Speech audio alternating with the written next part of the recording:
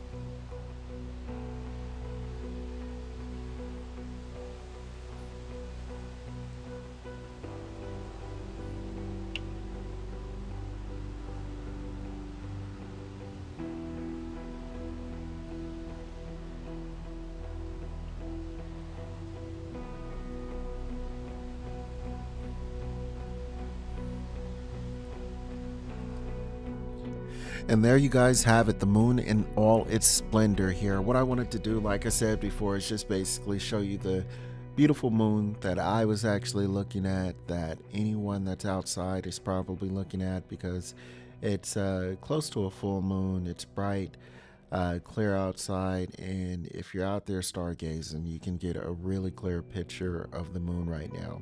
So I just wanted to share with you what I'm doing on this Saturday night here. I know it doesn't seem cool, but hey, I'm a nerd. I don't care. And uh, this is enjoyable to me. So, everybody that's partying, partying, enjoy yourself. I feel like I'm drinking now. Um, but everybody that's partying, part, I can't talk tonight, partying, enjoy yourself. And, uh, like I always say, man, if you guys see anything that I may have missed, please let me know. You guys are very intelligent people here, and I don't doubt you for one bit here. But I'm going to go. I appreciate you hanging out with me here on this Saturday night. And you guys be safe if you are out there drinking, and just have a great night and take care, you guys. Peace.